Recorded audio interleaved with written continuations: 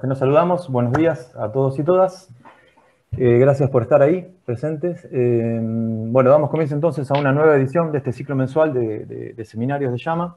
Ya la tercera edición, eh, bueno, como la mayoría sabe, supongo, Llama es un proyecto argentino-brasileño, brasileño-argentino, para instalar un radiotelescopio que operará en rango de longitudes de onda milimétricas y submilimétricas y que se han instalado en el norte de nuestro país, más precisamente en la provincia de Salta. Eh, bueno, este proyecto inició oficialmente hace aproximadamente unos 10 años, eh, ha pasado por algunos altibajos, pero bueno, afortunadamente creemos que se ha encaminado y tenemos esperanzas concretas de que, que pronto sea realidad. Y bueno, en virtud de esa concreción es que decidimos realizar este ciclo de seminarios, eh, donde investigadores de distintas áreas e ingenieros también nos cuenten sus trabajos y sus experiencias, que serán útiles para Llama. Como explicamos en las ediciones anteriores, van a ser tres charlas la primera es de 40 minutos y, bueno, él o la disertante es un investigador, investigadora senior de este proyecto que nos va a contar de sus experiencias en este tipo de instrumentos. Eh, como es el, no, en el caso de hoy no, va a ser relacionado con el proyecto, pero sí nos van a contar su, experiencia, como, como, va a ser en el caso de hoy. Y las otras dos charlas serán de 20 minutos, que serán charlas de ciencias, y los, y los disertantes, las disertantes nos contarán de sus trabajos y cómo un instrumento como, como llama puede eh, ayudar en el desarrollo de, de los mismos. ¿bien? Eh, bueno, como les decía, eh, el primer, el primer, eh, la primera charla va a ser una charla de 40 minutos. Nuestro disertante va a ser el, doctor Lars Niemann. voy a hacer una presentación de, Lars.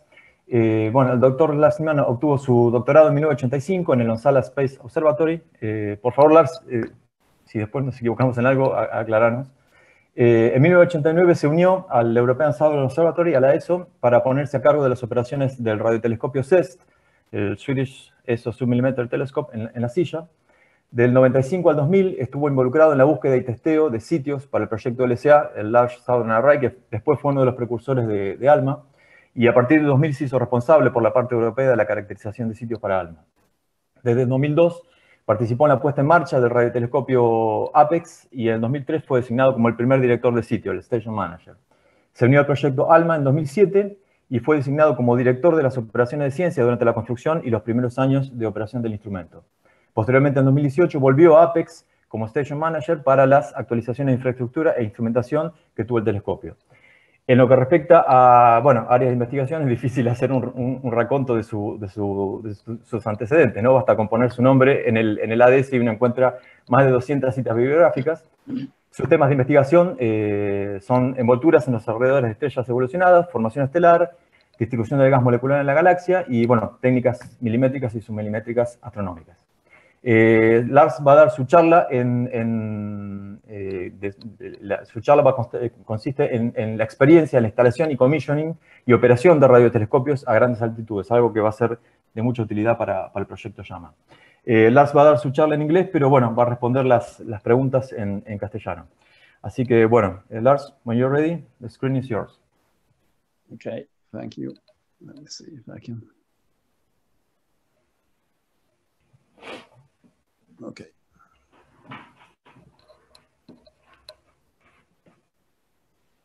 Okay, can you see it? Perfecto. Yes, can you see my cursor also? Yes, yes. Okay, perfect. Okay, well, thank you very much for the invitation to give this talk.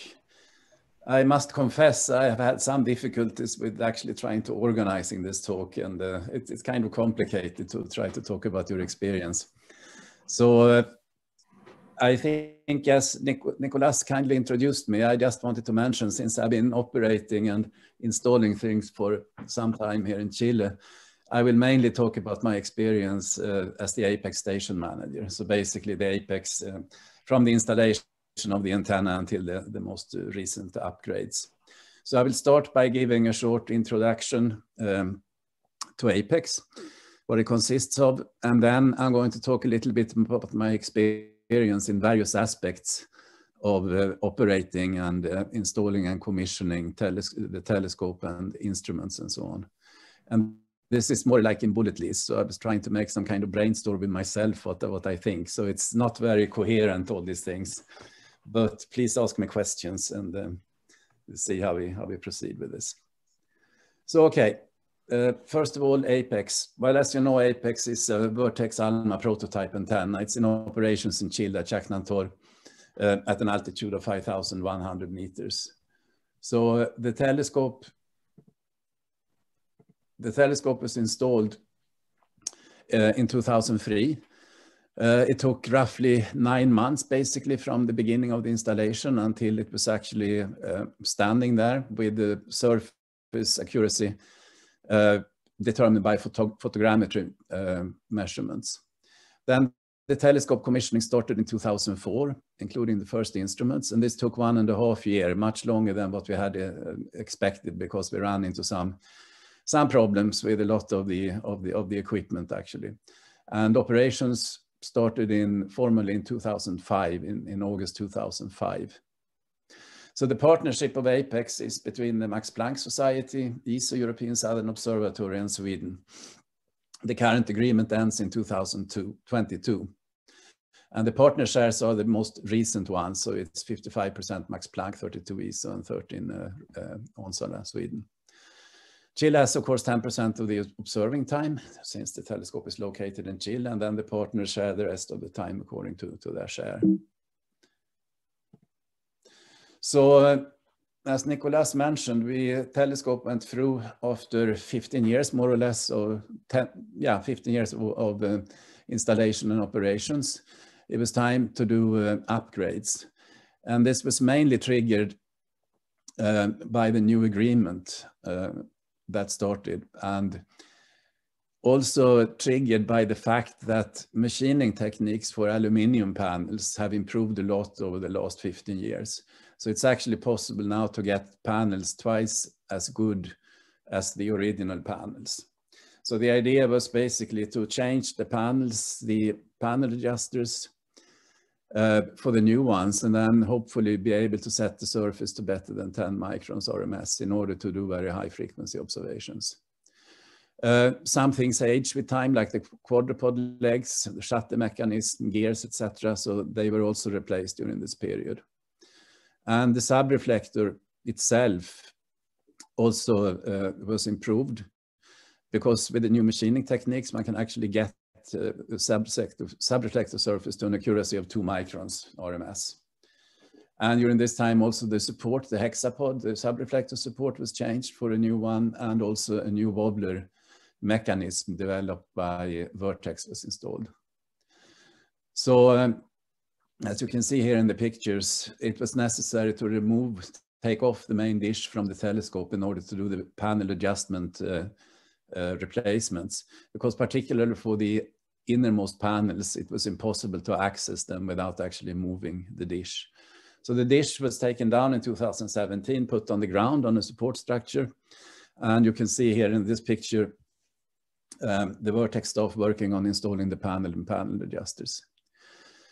So all this was hoped basically to be done by the end of the 2018 uh, summer shutdown.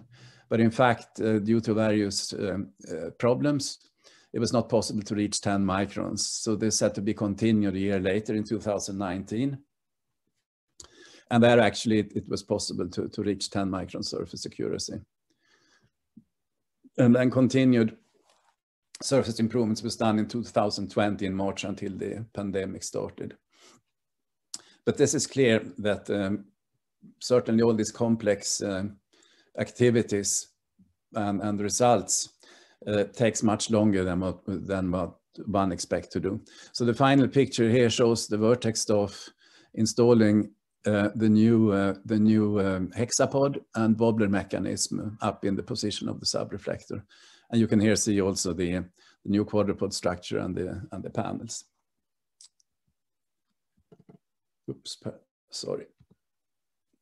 So here I just wanted to show you the final holography map that basically down here shows you a surface RMS of a little bit more than 10 microns.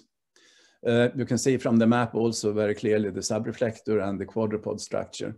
And uh, in the holography measurements, you get diffraction uh, around the quadrupod legs, which shows up in the maps.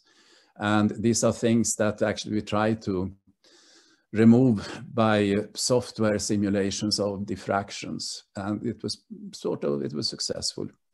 Um, you can see some panels here that are masked out. They had to be replaced later. And this is the hole for the optical pointing telescope. There is also diffraction rings with this holography method all around circular in the outermost panels, but they were removed through these kind of um, si simulations of diffraction. So with this method, it was actually possible to uh, set also the, the outermost panels to, to reasonably high accuracy. In this upgrade, we also got new SIS receivers. So in the Nasmyth A cabin were installed all these uh, new SIS receivers, single pixel, basically covering uh, all the atmospheric windows available up to 650 gigahertz. So it includes 180, 230, 345, uh, 460 and 660 gigahertz. And all these receivers are sideband separation or dual sideband, uh, most of them with 8 gigahertz IF and two polarizations. And the idea was, of course, to have this done by 2018 in order to have a number of years to observe before the end of the agreement. But in fact, it's taken several years for some of them to get into the final acceptance and then final commissioning. They were used meanwhile, but um, it takes time to do these things.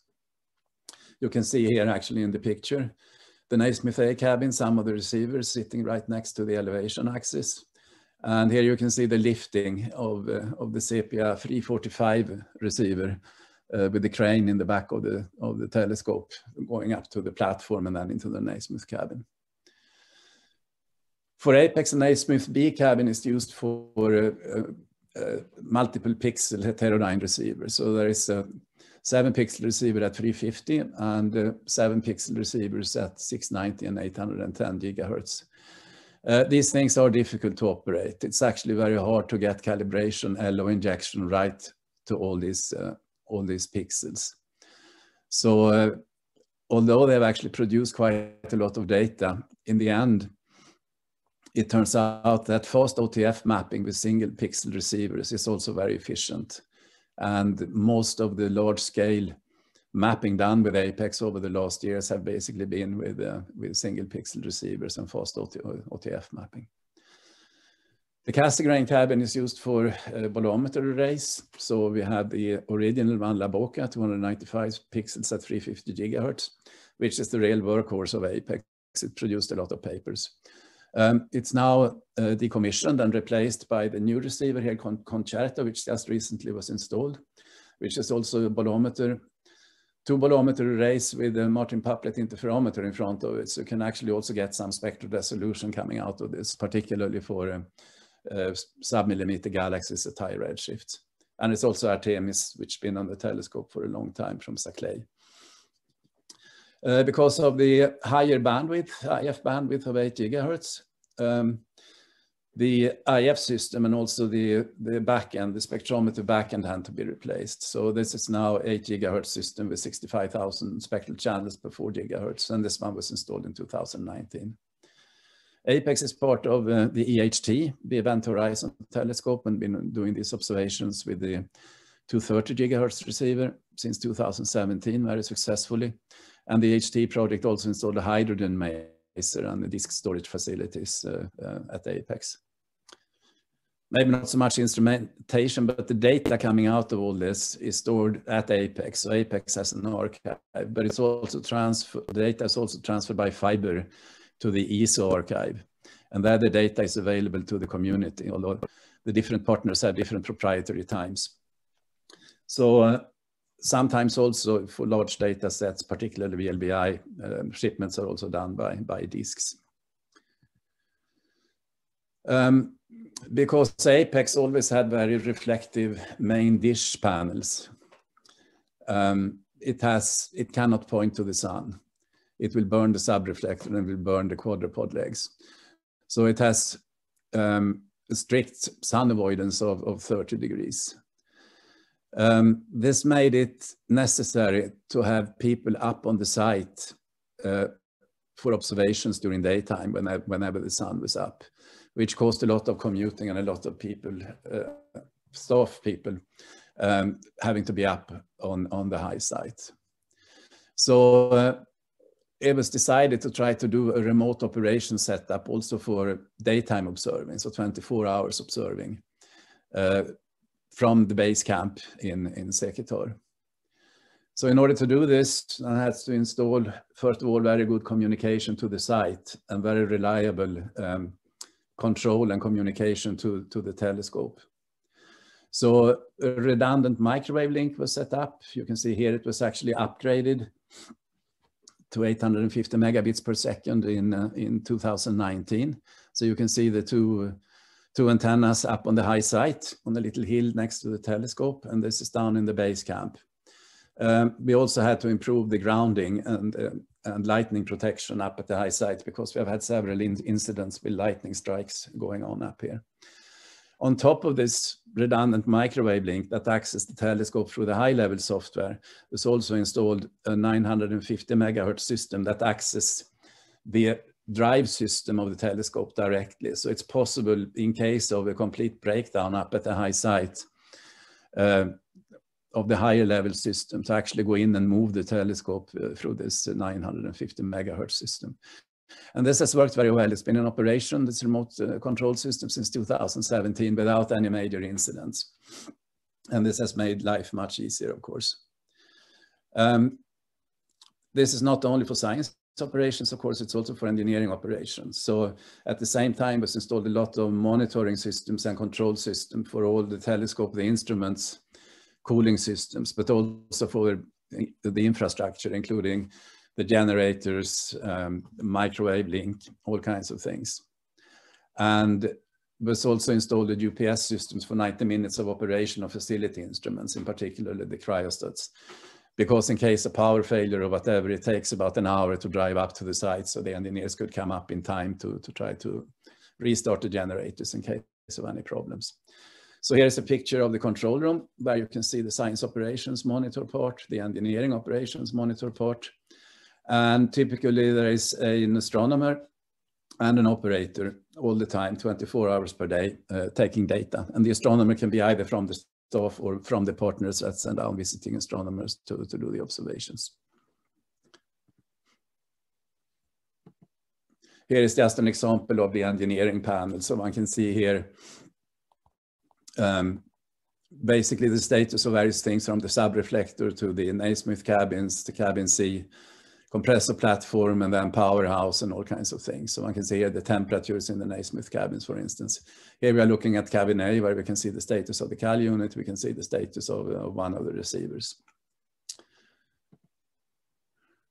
Uh, so for the telescope scheduling, I mean, the whole idea of putting a telescope at 5,000 meters is, of course, to use the, uh, the, the very good weather to do high frequency observations. So Apex, for historical reasons and from the beginning, did block scheduling. So here you can see the schedule for uh, six months in 2020. Um, this was produced before the pandemic. So after the pandemic, the schedule didn't happen, but I'm sure it as an example anyway. So here you can see blocks of technical time in blue. You have ESO, ESO time in green. You have Swedish time, Onsala in yellow, Max Planck time and Chile time.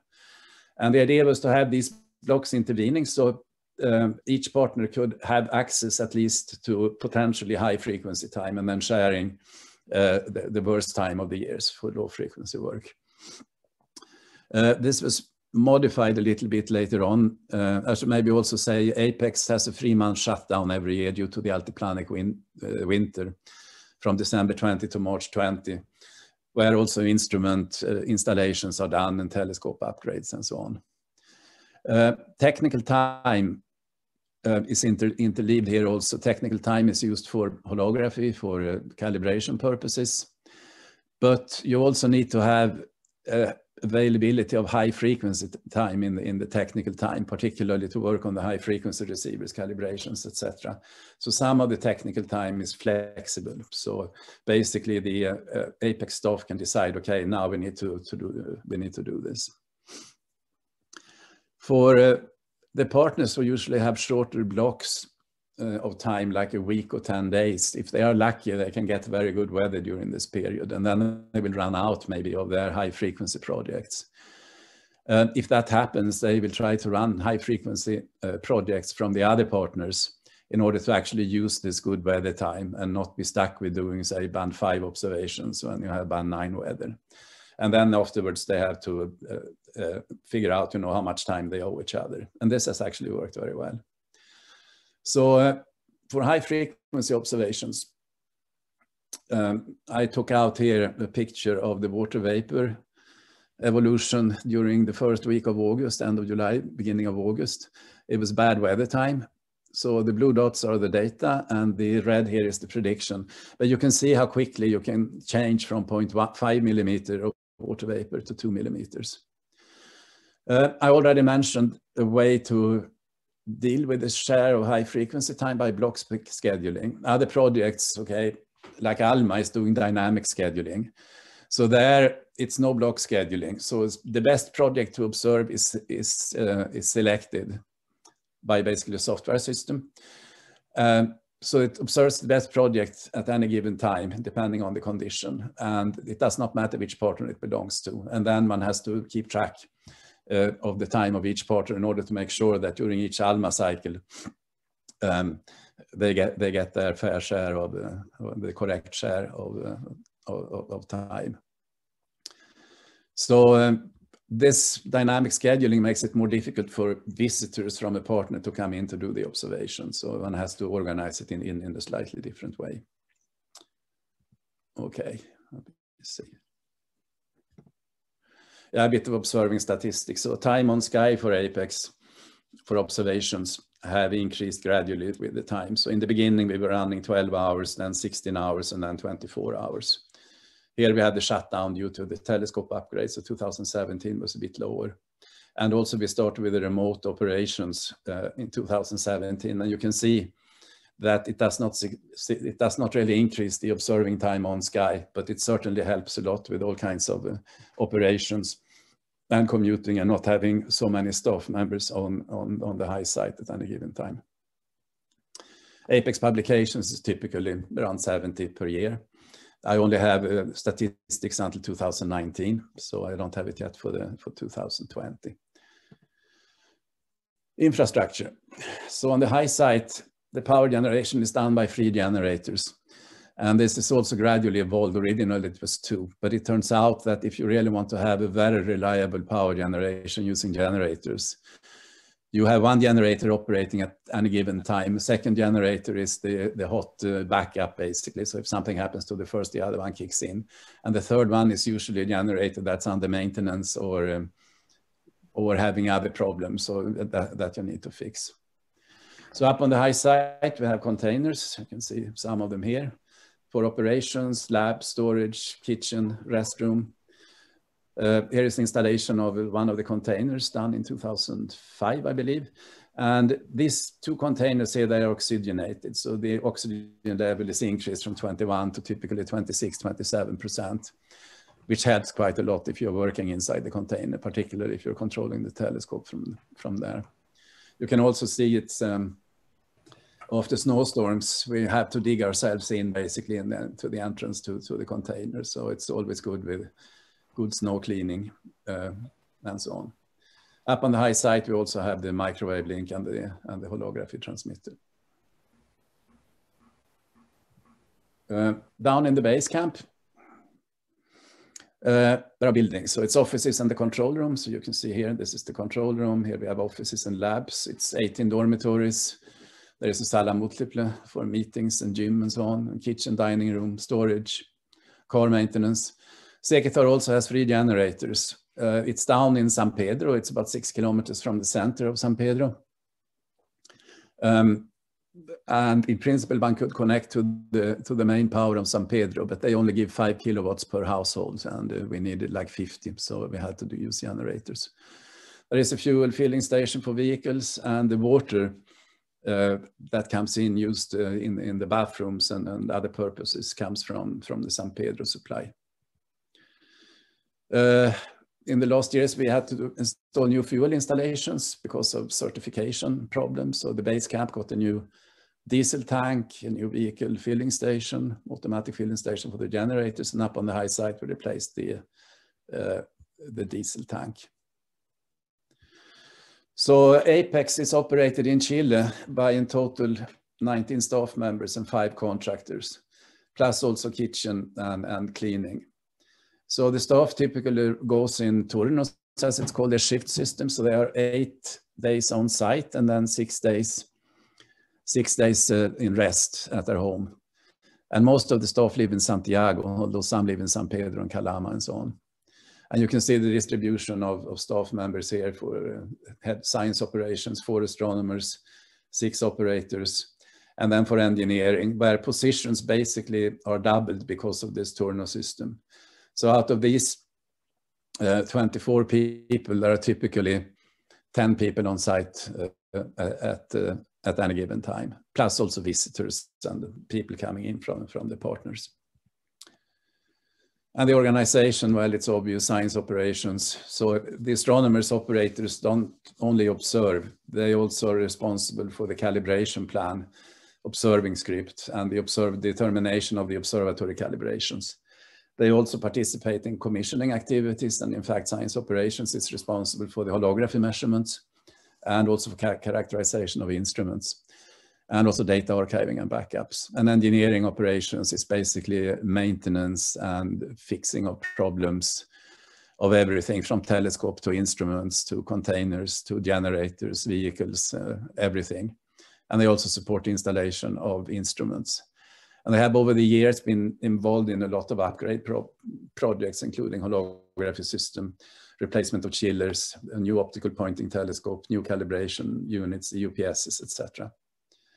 And then, of course, logistics is important. So there is one person taking care of that. Particularly commuting accommodation services has its uh, challenges from time to time. Okay, so that was Apex in a, uh, yeah, in a nutshell. Um, I don't know if anyone has any questions about the Apex part. Or shall we take questions at the end? Now, mm. how many postdocs do you have, Lars? Um, in the Apex staff, they are all, uh, it's four astronomers. It used to be more, but uh, currently it's four astronomers and they are all staff members. So we don't have, at, uh, locally here in Chile at Apex operations, we don't have postdocs. On the other hand, the partners, Max Planck, uh, Chile, Sweden, ESO, they send a lot of students and postdocs to basically perform observation and learn, you know, how to how, how to observe hands-on uh, with the telescope. And that's been very useful for them. And we have a lot of lot of uh, young people coming in to to help with the observations. Lars, are, you currently using the tip tilt system for on-off uh, at the subreflector? Yes, the subreflector has a new chopping mechanism so this was provided by Vertex. And yes, this one is used a large part of the time. I also have a question, can I? Tenemos una pregunta. Ah, bien, bien, Felipe. Uh, Lars, is there any prediction for including a polarimeter in there? Because I used Polka in the past and mm. it would be, I keep waiting if, to know if Polka will be back online at some point, but it no, would what? be nice to have a polarimeter for the southern sky. And Yes, I, I agree. Ola Boca has been decommissioned. The, the place where it was located in the Cassegrain cabin has been uh, now used by this new concerto instrument. Mm -hmm. And as far as I know, but for Artemis, there is no. Artemis, no, there is nothing. Um, concerto, I actually don't know. I I doubt it, but it I, I can find out. Okay. Thank you. What, what is the fraction of time uh, in Apex uh, using it as a stand-alone antenna compared to being part of a larger array? Well, I would say most of the time, you know, the Apex does not have a three millimeter receiver. So it does not take part in the GMVA VLBIs. It only takes part in EHT. And EHT so far has been on the order of a week, uh, a week per year or so, a week to 10 days. Mm -hmm. And uh, it, so it has not been used uh, in, in, regular form uh, with ALMA uh, as a... Uh, no, no. And what about fiber optics in Chajnantor? Um, yes, so uh, Alma has a fiber optic connection that was installed a number of years ago to the outside world. So it basically follows the gas pipeline uh, to Calama and then it connects into the REUNA, uh, REUNA system here in Chile. And then it goes on through the Santiago, ESO Santiago over to, to ESO Garching, basically following the same fiber setup as, uh, as the data from La Silla Paranal uh, transfer to, to the ESO archive in Garching. Yes, when I was in Chile, there was a project of uh, of uh, continuing with the uh, fiber optics uh, across the Andes to the Argentinian territory. Is, is that uh, stopped? I think it's probably still in the pipeline. Now, you know, for the last two years, I have not followed very closely what's going on there since I since I retired. But I know, I, I know. I mean, I don't think it's stopped. I think it's probably still in the pipeline, but it might take some time to to get it done. Okay, Manuel. One more question. What is the, no, bueno. the, fra the, fraction of the time that you use for uh, Concerto, the KIDs system? Is yeah, this... the KIDs system. Well, you know, it was just recently installed and commissioned, and uh, there is a first light picture that's been out in the press releases. So, um, um, so, so far it has not been used for regular observations. It was just, just recently installed. And I think there are still some things they have to do on it. So it will be used for the next years. And um, uh, I think each partners have promised to, um, to give some of their observing time away for, for concerto observations. Eh, disculpen, se me cortó. No sé si alguien tiene alguna pregunta. Manuel, creo que tiene alguna pregunta. Yeah, uh, thanks. Did, did you uh, did I understand understand correctly? Um, you, you mentioned some problems with the seven pixel uh, of, of LASMA and champs, uh, and and you are using you are not using the seven pixel receivers or? Yes, these are PI instruments by the Max Planck Institute. So uh, and they are using them from time to time. But what happens is if you have many pixels, it could suddenly happen that uh, one of them stop working, for instance. And then you have to, you know, take down and open up the whole cryostat and try to fix that, which is a time-consuming procedure. The other thing is the calibration of each pixel. I mean, ideally, each pixel should give exactly the same output, the same calibration, but they don't always do that. And there is also problems with the LO injection, which can also cause these calibration offsets that you don't get the same LO power into each of the pixels. So overall, you, overall, you can overcome this. No, it's been a number of publications uh, uh, done both with LASMA and, and, and CHAMP Plus. But uh, it actually turns out now that you're getting very good, you know, single pixel receivers, and we also developed the, the on-the-fly mapping technique to very fast on-the-fly map. So you can actually efficiently cover large areas of the sky with single pixels receivers as well.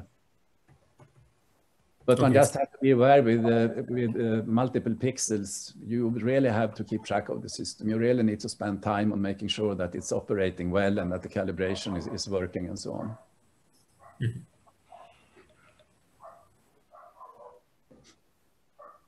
Perfecto. Si no hay más preguntas, eh, ¿Puedo continuar, Lars? Yeah, okay. okay. Well, so I come now to the part of uh, my experience where I had some problems organizing it. So I'm afraid it won't be so many pictures. It will be mainly uh, bullet points. So uh, let me tell you, starting basically from the beginning, safety is the most important thing, okay? You have to have safety plan, you have to have safety procedures in place before the installation even starts of the telescope. And this is essential because basically you don't want to have any incidents with people getting hurt or anything um, happening uh, uh, during the work. So uh, Apex has, of course, all the safety plans. They are on the web. So if you go to the Apex web pages under safety, you can actually download these documents. But uh, among the more important things to define is the maximum time spent daily on the high site for each staff member. So typically because of Turno systems, the first day people can stay maybe six hours, later on maybe eight hours. but that's something one, one has to see depending on, on, on, on the conditions for, for LLAMA, for instance. Um, minimum number of staff at site at any given time. That's actually also important. I mean, typically one would say at least two people. If something happens to one person, the other one can drive that person down or help. But the exception to this is if something happens with someone working in the telescope in the cabins. I mean, we had an uh, event where someone fainted in the Nasmyth B cabin. And one person cannot basically bring someone down from, from up uh, in the telescope down. You have to have at least two people, which means that anytime uh, there needs to be some work done in any of the instrument or, or Cassegrain or Nasmyth cabins at Apex, we have to have at least three people on, on the site. Use of oxygen. Uh, this is very important and it should be used actually uh, all the time by people being up there. Also in particular if you have more complex activities going on. Uh, for ALMA, it's compulsory for all staff to use oxygen when they're up, up on the site. For APEX, it depends a little bit. It's not compulsory, it depends on person and activity, but it's of course strongly recommended. All the staff members must be trained in all aspects of the safety plan and also of course each staff member is responsible for for the for for the for for the safety and this is really important and people have to be trained and people have to know this commuting is always an issue because you're driving up and down so you need a good communication plan for what's going on during the commuting so people can report in and people can people in the base camp can check basically what's what's going on uh, with the compute uh, with the commuting um, recently we also had to include a maximum total time spent for staff on mission. So these are staff from the partners coming for extended period to install instruments, commission instruments, even if they have longer observing runs. They should not work for more than 14 two weeks uh, at, a, at the time before taking a break. Because we had some uh, issues with staff basically showing fatigue symptoms and had been taken to the clinic people had been observing a lot, spending night, staying up night, etc., and got really tired. So this is important. For emergencies, you need access to a clinic and ambulance. So I guess in San Antonio los Cobres, you need to have an agreement with the clinic and so on. Um, the base camp of LLAMA is quite located at quite high altitude, I think at 3,600 meters, which is basically an altitude where people can can get altitude sick.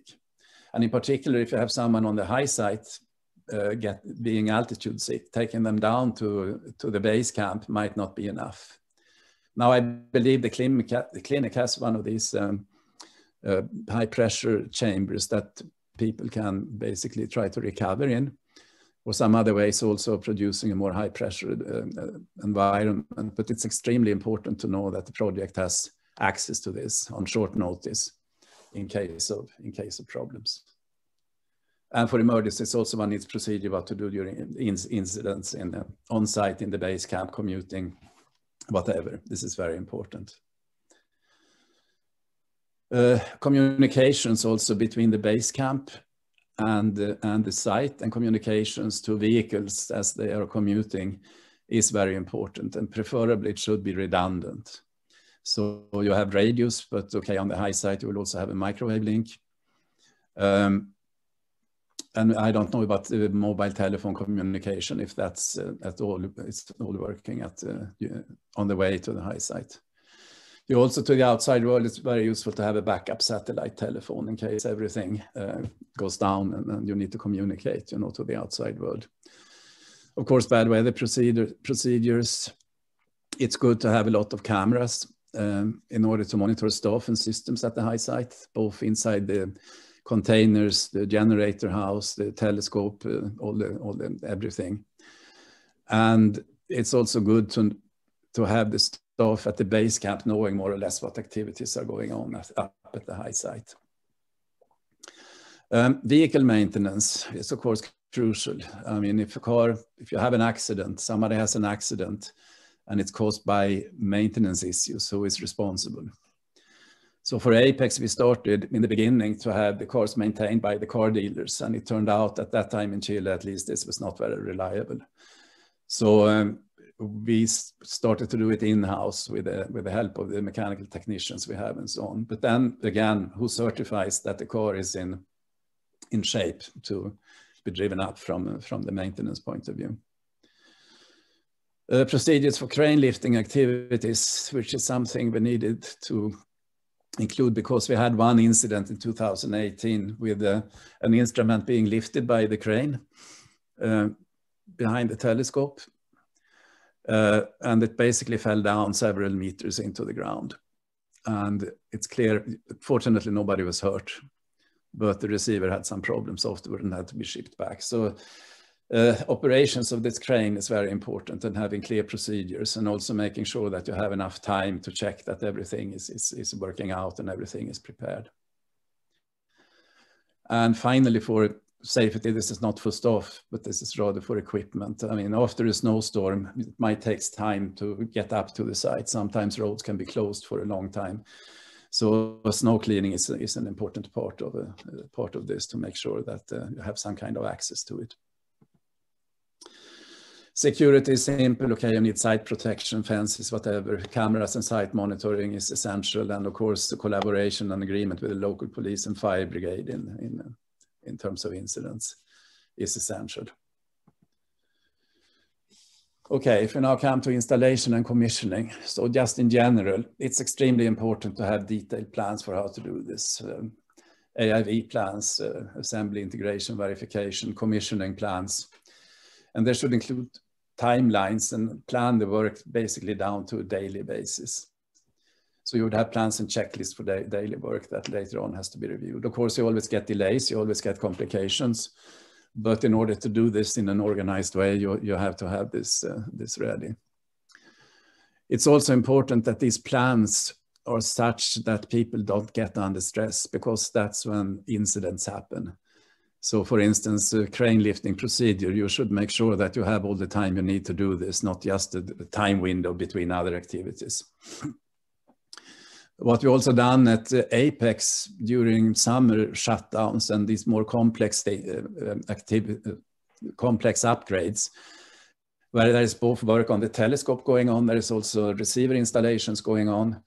So one can actually try to do multiple activities. One can do it such thing that people sometimes you have teams up working at night, you have teams uh, up working in the daytime, and sometimes one can do this uh, in parallel depending on on the activities. So if one wants to do this to be efficient, it's extremely important to have organization done very well, and also make sure that the time windows available for the activities, say per day, uh, you don't have too many activities. It has to be planned in such a way that you don't get under too much stress. And also monitoring from lower altitude is important during this time to see where people are and what they are doing. And as I said before, I think everything takes two to three times longer than planned. I mean, this is for all things that, that can happen for bad weather, for any kind of incidents, whatever, things takes much longer than you believe. Okay, coming to staff. Uh, well, I think, well, you already know hiring of a site manager and project manager early is, is essential, and this has to this has to be done. Another thing is that, at least at Apex, we had staff already when the telescope uh, was installed because we had a number of staff coming from La Silla, both uh, electrical engineers and mechanical technicians, etc.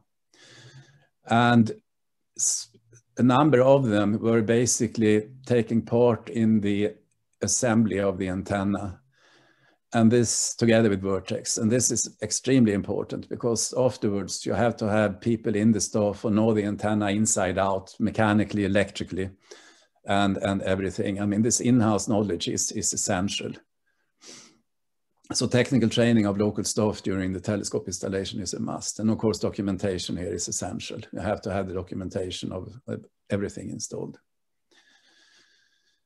Uh, then comes the question of what kind of knowledge do you need the local staff? Well, local staff, I mean the staff who are actually on site or in Salta or whatever operating the telescope. So for Apex, the 24 people I was talking about basically know everything about operations and maintenance of installed equipment. They also participate in, as I said, in upgrade projects. Uh, and they do this, but they are not experts on the software because the software is coming is coming from Max Planck in Germany. Um, and they are also not experts on going into the cryostat, say, of, of receivers. So it's very important to have experts available to, who can come down, say, uh, to the site in case of real problems, both with the antenna or any type of instrumentation problem or whatever. And then, of course, outsourcing one can do for kitchen cleaning and some, some maintenance. It's, it's actually a good method of, uh, of, of, of doing it. So, okay, assuming now that we have the telescope uh, on site, you need to commission it. And software is very important. I mean, this is all the software basically from the beginning to the end, including the telescope uh, drive system, including telescope control, instrument control, taking of data, so IF system, backend spectrometers, and getting the data into an archive and then be able to analyze it. This has to be ready by the start of the telescope commissioning, basically, and leading up to first light. So surface setting and holography, I will come back to this in the next slide. Then you have to do pointing. And there will be an optical pointing telescope and then also uh, radio pointing. So uh, there are a lot of things one can, one can talk about this, but optical pointing is good to characterize the telescope to start with. Um, before you have any receivers uh, getting into the telescope. Afterwards, Apex uses it actually as to set up the main pointing models, but then there are uh, offsets to each receivers, each receiver.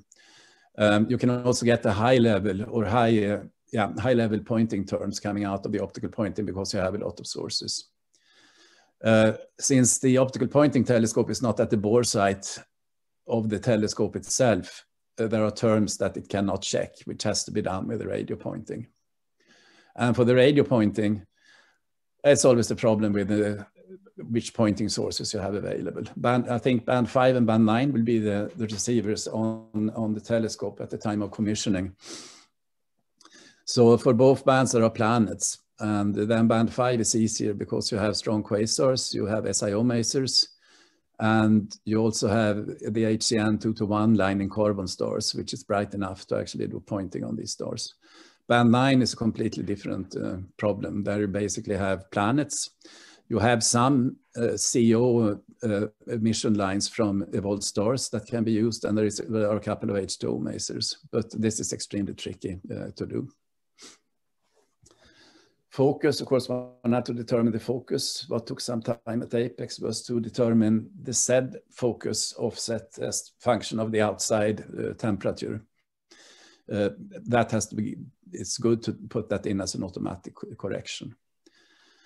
Then, of course, you have the observing modes. I guess starting with on-off is, uh, is essential, but raster maps and later on on the fly mapping, which is sort of another beast of complexity to, to do, but uh, it's a very powerful observing uh, method.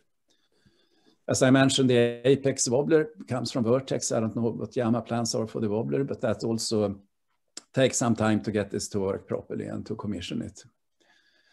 Um, one serious issue here, which usually happens during telescope work and telescope installations, and uh, because of the drive system, and the um, and the um, um, how do you say the installation and the, the, commissioning of the drive system. It's very easy for the telescope to get into quite violent oscillations from time to time. And this is not good, of course, for, for the equipment installed in the telescope. So one has to make sure also that all the electronics cabling connectors are mechanically very stable and very well done. Another issue which I will, yeah, which I can mention now, is that uh, remember the Nasmyth cabin, the instruments there are pretty far from the azimuth axis. And that basically means if you get into oscillations or even uh, accelerations of the telescope, you get a lot of centrifugal force and all the equipment in and the receivers in, in the Nasmyth cabins. So this is something that has to be taken into account. It has to be very stable, mechanically stable and, and well installed. Okay, holography, which is another beast. Um, you need basically an expert on holography setup, data analysis, and map interpretation. There is nothing trivial about all this, and one seems to have to learn uh, every time. For Apex, we got the original holography system from the submillimeter array from SMA. And their experts uh, basically came down to Apex to help with the first holography runs, together also with staff from the IRAM uh, 30 meter telescope, who was also experts on, on, on doing these things. And it took some time actually to sort out um, this whole setup and actually to get reasonable maps out that can be used for, for surface setting. If you want to go to say 15, 20 microns, it's, uh, it takes some time, it's not dramatic, but for Apex going down to 10 microns, there was a lot of uh, um, effects coming in that you, you don't see if you don't go down to 10 microns. Then we have photogrammetry versus holography. So photogrammetry is usually done first and then surface set according to this. So this is basically taking high resolution pictures, lots of them with a digital camera of the main dish and then determining its, uh, its, its surface and then setting it according to that. You can usually get down, at least for Apex, we got down to 30, 35 microns uh, RMS using photogrammetry. However, the, uh, you get the shape of the dish to 30 microns, but the direction of the dish where it's pointing might not be correct because um, you don't go through the boresight of, of, of, the telescope. So usually the first holography map that we done with Apex after the phot photogrammetry based setting of the surface shows 50 to 60 microns. And then one has to set the surface and take it from there. Uh, for Apex, we have a slightly different setup than from LLAMA. The main receiver is in the Cassegrain cabin, and that can be switched in and used within five minutes or so. So if one night one needs to check doing holography observations, it's, uh, it's easy to do. However, with the LLAMA setup, I guess you have the uh, receivers uh, in the subreflector, in the place of the subreflector, it takes some time to do this. So holography sessions, I guess, need to be planned uh, well in advance, and you also need to figure out when you actually need to do them. Um, for LLAMA, you have the low elevation of the transmitter. I don't think it's much more than five degrees perhaps from uh, seen from the telescope, which means you will have ground reflections. This happened at ALMA as well in the, in the base camp when the first holography was done. So here one needs to put a, a large aluminium sheet at the position of the ground reflections to, to uh, reflect the beam into the sky so you don't see uh, the reflection but rather the sky. Of course, after holography, you need to confirm the surface accuracy, and this has to be done by high frequency measurements and, and beam maps, so basically using band 9. Um, and these are not always easy to do. You have to use uh, maybe the planets to do this. Um, Apex has actually used um, an H2O maser, a very bright H2O maser at 658 gigahertz to take beam maps, and that has worked out very well. But of course, these sources are variable and they might not be always be available. To set the surface itself is a lot of work actually. So the minimum you need is to have people going up in front of the telescope with the, with the surface adjustment tool. And of course, with all the documentation necessary to know which screw to, to move how much. So a minimum team is two people in each in, in a man lift. So uh, one running the man lift and the other one uh, doing the surface adjustments. The problem with all this is that you have the quadrupod legs in, in the way, and they are carbon fiber quadrupod legs. And if you hit them with a man lift, they most likely break. So the people uh, running the man lifts have to be very well trained, and also the man lifts need to be a good of good quality, so you can actually maneuver them accurately uh, in front of the telescope and around the quadrupod legs. So to speed up the surface setting, Apex typically lately has used uh, two teams at the same time with two man lifts, two people each. And uh, they typically operate uh, two hours and then of course they get cold and then they need rest and then we have two other teams coming up and then they shift like this. In this way it's been possible to set the surface of the antenna in, in about eight hours one day. Okay, receiver installations and commissionings. So software again is very important. One should never forget that. Tuning monitoring.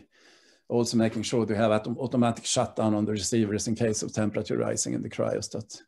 Again, you need to have detailed commissioning and acceptance plans and also very experienced people to do this. So for Apex, we have had typically two acceptances for each instrument. One is the pre-shipment acceptance, where basically the instrument delivery team um, makes all the measurements that's possible to do in the lab, which includes tuning range, uh, receiver temperature, sideband separation, and a lot of the infrastructure part of, uh, of on the cryostat and, and the receiver. And once, once it's passed this uh, pre-shipment acceptance, it comes for commissioning, and then you have a final acceptance from the results on Sky. So as I said, experienced people are necessary to do this. You need to have close interactions with the instrument delivering teams. Another thing that we had not realized from the beginning in Apex, we always thought before that the instrument teams or the instruments arriving from the shipment will be opened in the base camp and the instruments verified and then taken to the high site. So we built up a reasonably big electronics lab in the base camp to do this. However, this never happened. In fact, all the teams prefer to bring up the instruments in the boxes to the high site and there open and verify them. So this happened for all instruments. We even had some very uh, delicate uh, um, uh, repairs being done on some instruments and up at the high site. And as I mentioned, procedures for the crane lifting and activities of the, of the uh, instruments are, are, important. And I also already mentioned the centrifugal forces on, on the instruments yeah, the electrical power setup on site. This was a problem, of course, for Apex to get it reliably in the beginning. It was the same thing with Alma, actually. So as I mentioned, three generators for reliable production. Uh, you need to be able to switch over between the generators without power cuts. So you have to have a switchboard to do this. You need a fuel refilling setup that actually then fills up from the from the big tank in, in, into the, the tank of the of the generator. And all these things should be monitored and, and you should actually have control over this. Particularly in the beginning, we had problems during snowstorms with the, with the generators because, of course, you need a lot of air coming in to cool the, the diesel engine. And the air intakes in the powerhouse basically got clogged up uh, with snow, which made the generator stop. So we solved that by by heating up the air intakes, but we had several years of problems actually during during snowstorms. And particularly grounding, the grounding of the whole site, including the ground between generators, between containers, between the telescope, uh, between the microwave holography tower. This is essential you don't want anything to happen uh, during lightning strikes, and you will have a lot of lightning strikes up there. So this is really, really essential. And finally, yeah, long-term maintenance plans. It's absolutely necessary, of course, to produce these maintenance plans uh, together for the telescope with Vertex, uh, for the instruments with the instrument developers, and for the infrastructure. Basically the team have to have to see from uh, what's needed for for all of the in infrastructure items. And this is essential.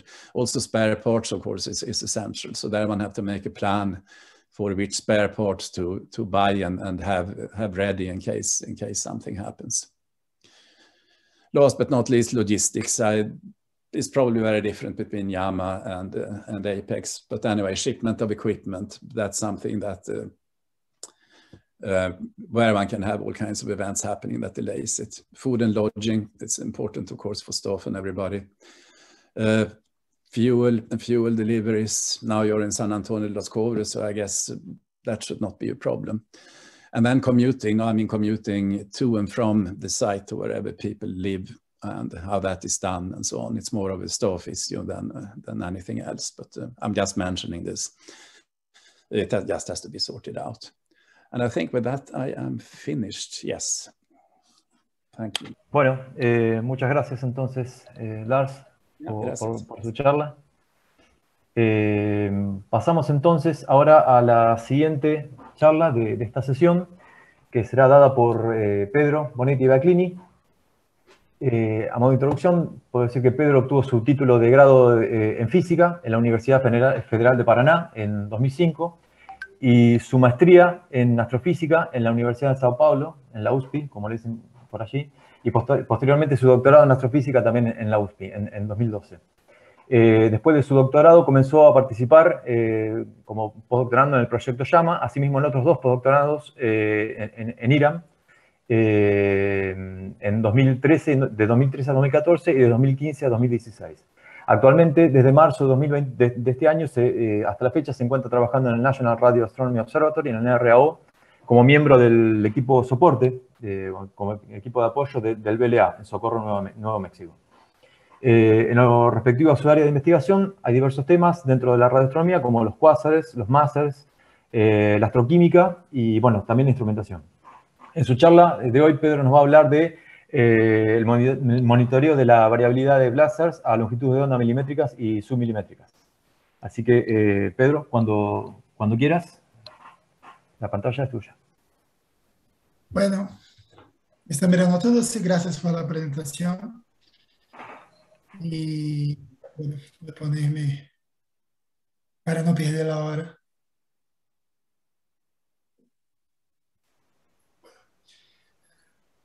Nicolás, por la presentación y por primero me gustaría empezar eh, dando mis sentimientos a toda la comunidad y como Nicolás ya habló y Zulema y, y Jacques es una pérdida sentida por todos la pérdida de Cristina, ¿sí? Y bueno, y me gustaría también de agradecer la invitación de, de la equipe de Llama para poder hablar un poco del trabajo que yo he hecho durante muchos años en la Universidad de São Paulo, que es el monitoreamiento de Blazar, eh, em onda de rádio, em complementos de onda milimétricos, e vou falar um pouco dos complementos de onda submilimétricos, um trabalho que eu he hecho com Tânia Zulema, que vocês conhecem, também com, com, com Juliana. Eh, normalmente, cuando yo empiezo a hablar de mis resultados eh, en el Observatorio de Itapequinga, que ahora se llama Pierre Kaufman, yo pongo esta charla con el título de, de Monitorando los Blazares utilizando instrumentos brasileños porque utilizamos dois observatórios, utilizamos o Observatório Pierre Kaufmann, que então se chamava Observatório de Tapetinga, e também utilizamos o Observatório Pico dos Dias para fazer medidas ópticas polarimétricas. E estou muito seguro que espero que em pouco tempo eu possa cambiar o nome da charla para dizer que monitoramento de blazar em instrumentos brasileiros e argentinos com os dados de chama que espero que lleguen en poco tiempo a aniversario.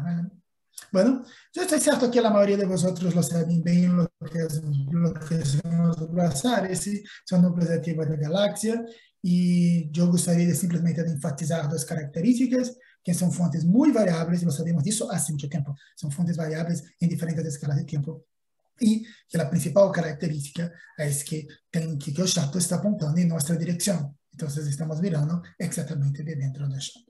¿sí?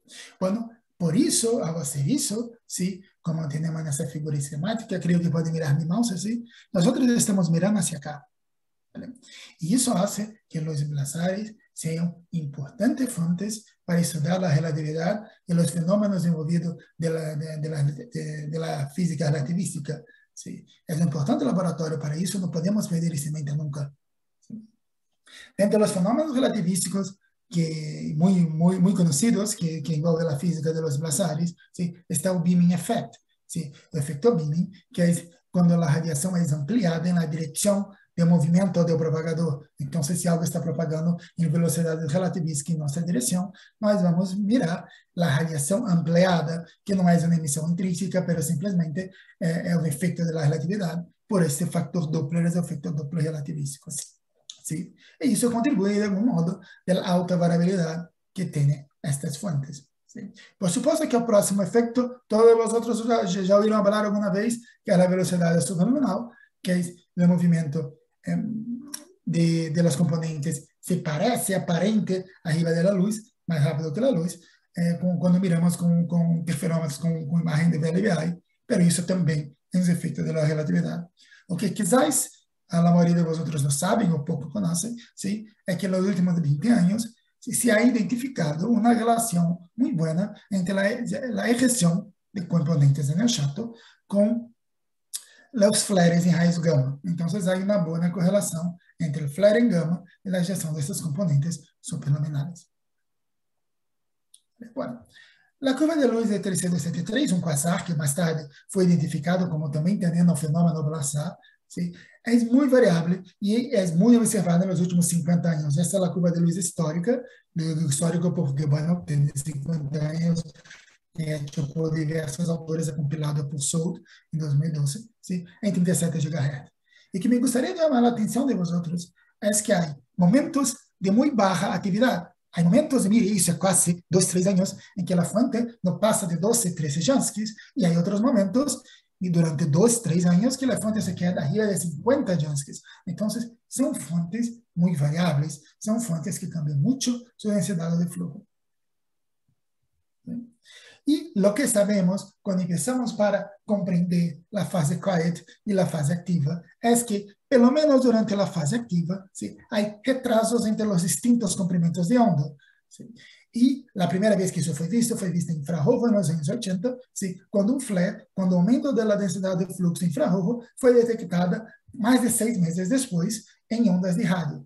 Então, nós sabemos que há, é, ao menos na fase ativa, quizás também na fase ocaída, por suposto na fase ativa, sim, um retraso de meses entre os flares, entre os distintos comprimentos de onda. ¿Y por qué hay los atrasos? Bueno, el modelo que mejor explica los atrasos es el modelo de Shocking Chato, que ha sido desarrollado en los años 80, pero bueno, ha sido modernizado y hay otras versiones, pero la idea principal es que tú tienes una gestión de una componente pequena, opaca, así que se expandindo. E quando se expande, se torna transparente e não dado comprimento de onda. E é neste momento em que miramos o flare neste comprimento de onda. Então, em peça óptica, tu tem o flare em raios gama, depois o flare em X-ray, depois o flare em, em óptico em infrarrojo, e depois, quando está maior, se queda transparente em onda de rádio, e nós vemos o flare em ondas de rádio. Acá isso, isso pode tardar semanas e hasta meses. Então, a escala de tempo típica, que pode cambiar de dois até oito, nove meses, é meses para chegar das altas, altas energias até o rádio e de alguns dias, se compararmos gama hasta el óptico. Bom, acá há um, um, um esquema na figura um pouco mais moderna, mostrando os diferentes pontos de, de, de, de flares em las diferentes frequências, conforme a componente se expande. E aí podem perguntar, pero Pedro, mire, já temos 50 anos de dados de 3273, mais 35 anos de dados de 3279, e porque temos que continuar mirando. Bueno, a primeira coisa que eu contesto é que temos que continuar os estudos de variabilidade porque não compreendemos tudo. E isso por si só já basta para que continuemos buscando mais respostas, mirando lá de la variabilidad. Pero también los estudios de variabilidad en esas fuentes empezaron en muchos sitios del, del mundo, porque en 2008 entró en operación el satélite espacial Fermi, que empezó a fornecer variabilidad en rayos gamma para esas fuentes. Entonces, en la curva de luz histórica en los años del siglo XX, nosotros tenemos la variabilidad en radio, pero no tenemos cómo correlacionar con gamma porque no había instrumentos haciendo monitoramiento continuo. ¿Sí? Y por ahora, a partir de 2008, tenemos la información en gama y por eso muchos grupos del mundo empezaron a monitorar esas fuentes de nuevo más frecuentemente para comparar con la curva de luz de Fermi.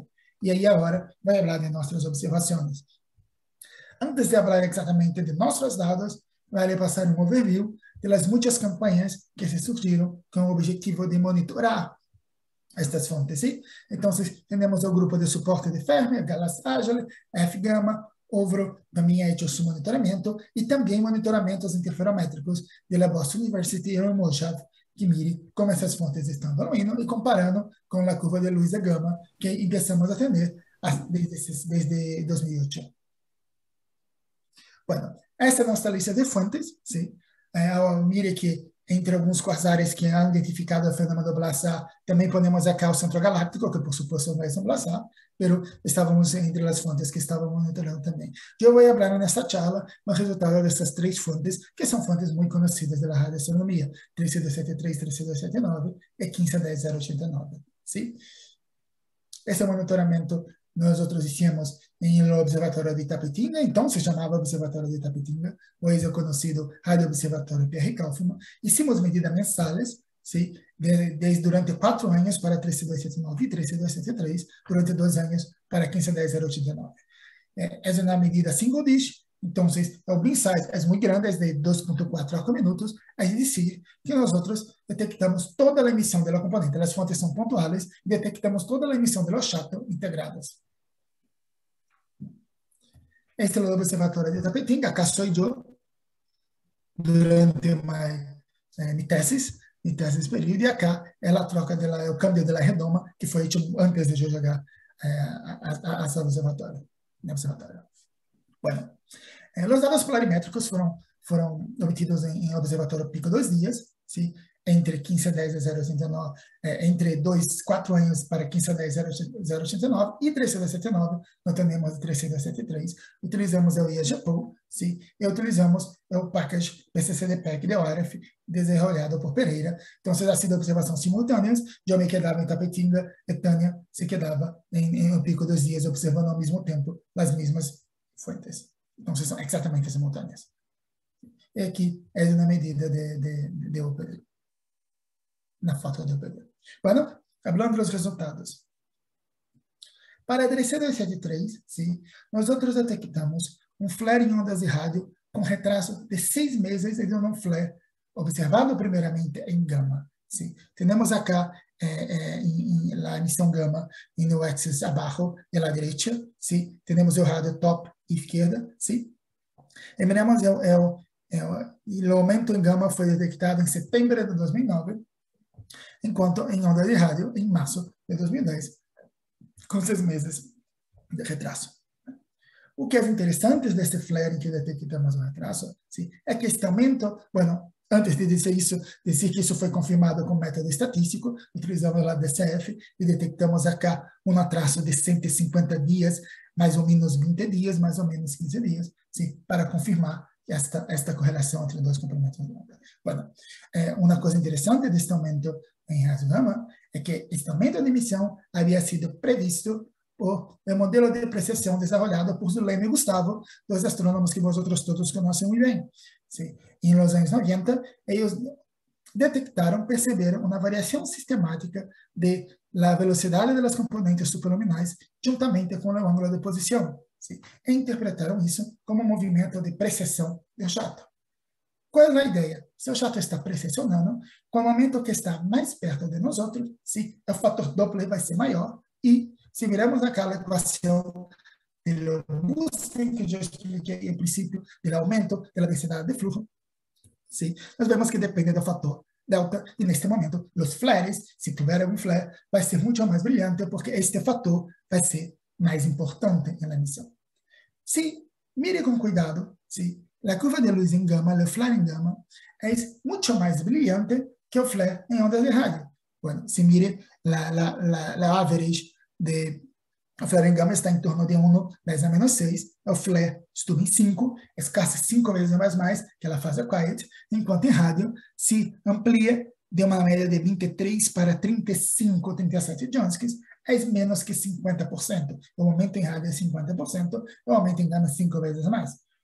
Isso também pode ser, isso está compatível com a ideia de depreciação do chato, porque este termo aqui é o índice, é, é, esse termo Doppler depende do fator P, que é 2 para os jatos de GN, e do índice espectral.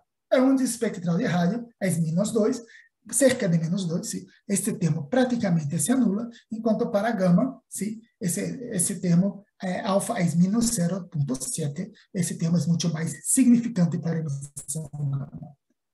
Então, se em um momento o jato está mais cerca da linha adversada, temos um flare, ¿sí? lo vamos ver muito mais intensos em ondas de gama do que ondas de rádio. Então, isso está compatível com o esperado, o que previsto por Zulema e Gustavo em, em 99, nos anos 90. ¿sí? Pero bueno, eh, eh, tuve, de facto, uma ejeção em um flare, no momento que o jato estava próximo. Quando miramos eh, os dados de velocidade justa, eh, ha detectado uma emissão de quatro componentes neste mês, que foram as correspondentes del flare em raios gama. E alguém pode pensar, bueno, é um pouco de sorte, sim, no exato momento em que o flare, que o jato está apontado para nós outros, temos a gestão de quatro componentes. Bueno, não é sorte, não é sorte na ciência, sim. Lo que pasa es que la relación de temporal entre la fuente y, lo, y, y la Tierra y el observatorio también se cambia mientras el chato está precessionado. Así como se cambia el factor Doppler, la relación de tiempo entre, entre la fuente y, y el observador también se cambia conforme el, el chato se precesiona.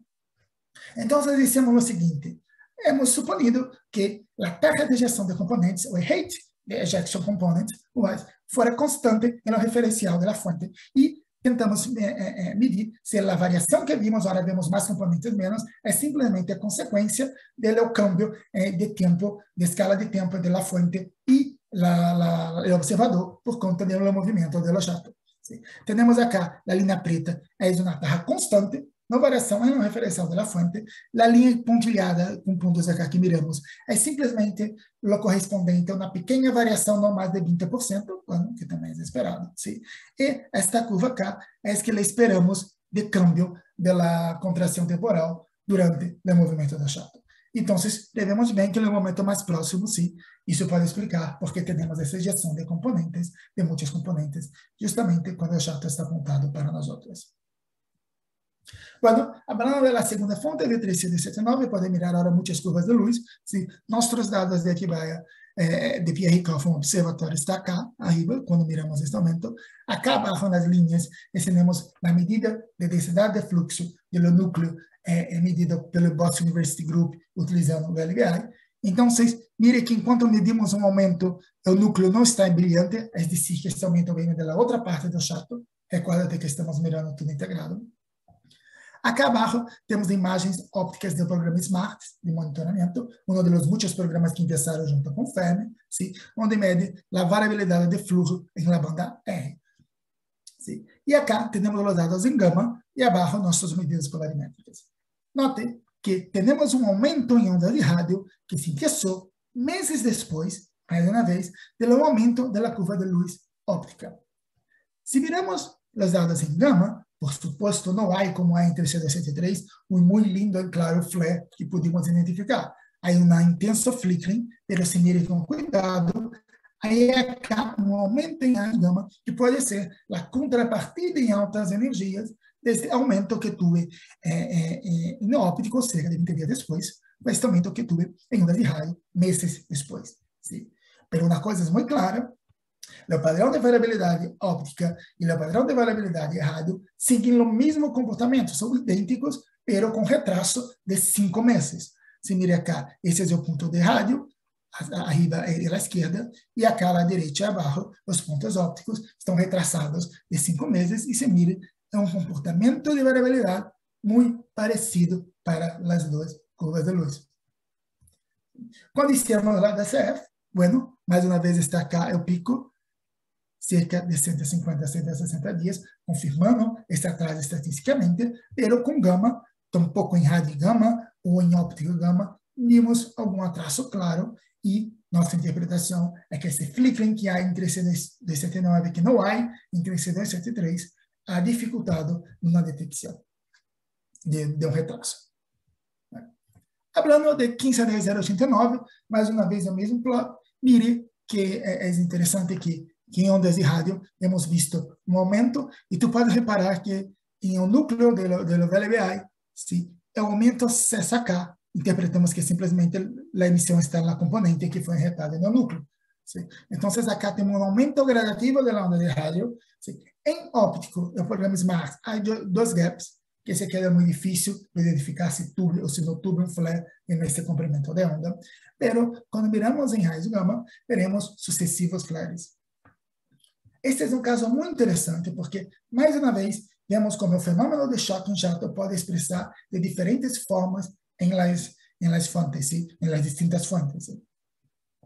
Se tu mires la sequência de flares e, e não temos uma clara contrapartida, e se no aumento gradativo em rádio, nós interpretamos sim que tem o primeiro flare em, em, em ondas de rádio, primeiro flare em raios gama, tu mires que a escala de variabilidade por la fuente ser mais chiquita é mais curta. Então, tu mires toda a subida e decréscimo de flare, e este flare se vai se quedar brilhante em rádio meses depois. Pero, se logo seguinte a primeira componente, aí na segunda componente, se nós também vamos virar com a componente etiqueta lá o decréscimo e decréscimo da densidade de fluxo. O ponto é, quando esta segunda componente empieza a ampliar seu fluxo em ondas de rádio, a primeira componente todavia está muito brilhante em rádio. O que vamos ver em rádio é uma superposição. Então, se temos três ou quatro componentes mirando acá, teremos quatro flares mirando acá. ¿sí? e um aumento creativo ¿sí? esta emisión en, en, onda de radio, porque la estamos mirando la composición. Entonces, es é importante notar que una dificultad es é que la escala de variabilidad también es é distinta. En gamma es de algunos días, en radio dura más tiempo. ¿vale? Tá? Es difícil identificar un retraso entre los dos comprimentos de onda, porque tú tienes un aumento único y sucesivos flares. Pero si mira el primer flare, fue todavía un periodo en que la emisión de ondas de radio no estaba brillante. Podemos identificar 1, 2, 3, 4 com 1, 2, 3, 4 pontos e tentar estimar o retraso simplesmente por a ordem desses pontos e estimamos um retraso de 55 dias. Bueno, para terminar um pouco das duas fontes, eu he hablado da parte rádio, permita-me falar um pouco da polarimetria óptica. Sim? Note que neste momento em que teve o flare gama para 3279, hemos visto um aumento no ângulo de, de, de, de, grau de polarização e uma rotação do ângulo de polarização. Isso foi visto em 3279 e também foi visto em 1510 089. Eh, mire, agora para o ano de 2009, não temos dados em rádio acá, sim, mas temos uma informação muito interessante que teve uma atividade gama não tão brilhante quanto esta, pero todavía é intensa, ¿sí? y que ao mesmo tempo detectamos uma variabilidade muito grande no ângulo de, de polarização e uma rotação deste, no grau, de grado de polarização e no ângulo de polarização. Se miramos com mais detalhes, ¿sí? temos dados exatamente no momento que empieza o flare, ¿sí? e em um intervalo de dois dias, coincidente com o flare em gama, tivemos uma rotação do ângulo de polarização ¿sí? de cerca de 70, 70 grados, um pouco mais de 70, quase 80 grados. ¿sí? Nós interpretamos isso como se tu tem um jato, e nesse jato todas as componentes são mais ou menos de mesma intensidade, podemos descrever sua polarização simplesmente com os parâmetros de Stokes do jato. Pero se neste momento surge uma nova componente, essa nova componente é muito brilhante, sim, podemos tratar que houve uma soma dos parâmetros de Stokes do jato com esta nova componente, e isso temos o câmbio de um ângulo de polarização de muitos graus em simplesmente um intervalo de dois dias, como vimos acá de 20 para 22 de abril, porque essa nova componente que vemos, na verdade, passa a ser a soma dos parâmetros históricos. Bueno, meu tempo está se terminando, estou ao fim. Me gostaria simplesmente de falar um pouquinho de como o JAMA pode ser importante para nosso estudo, para nosso monitoramento. Sim. É, eu vou mostrar aqui muitas das contrapartidas milimétricas com os raios gama pero seria muito interessante mirar este comportamento na parte submilimétrica do espectro. Mirar os retrasos entre os diferentes comprimentos de onda de la parte submilimétrica e também comparar com os outros como óptica e gamma. Sim, Lo que necessito chamar um pouco a atenção é que há pouco, muito poucos dados de variabilidade en submilimétricos, mientras em centimétricos e milimétricos há muito mais surveys de variabilidade. Um dos poucos dados foram medidos muito interessantes programas em la CEST é, é, pero todavia não tínhamos informações em gama, então não sabemos muito bem como vai ser. Eu recordo que Jama vai poder operar em duas bandas simultâneas, então podemos observar ao menos duas ou quatro, duas casas simultâneas e duas exatamente simultâneas entre elas, como funciona, é, é como um flare pode se propagar em las diferentes, em las diferentes fontes de gênero. Portanto, é possível assim Jama. Essas fontes são fontes muito brilhantes, cerca de 100 Jansks, em um rango submilimétrico, quer dizer que podemos observá-las em um tempo muito, muito curto. Em cerca de poucos minutos, podemos ter sinal suficiente para ser uma medida, sim? e podemos fazer isso dois, três, quatro vezes no mês, dependendo do tempo. É, quizás tenhamos um programa de, de largo survey utilizando é, é, JAMA para monitorar diferentes dessas fontes, esta escala. O que esperamos ver é mais ou menos isso aqui, um pico em grandes em frequências mais altas e um flare vai ser identificado nas frequências mais baixas, cambiando também sua sua sua antena.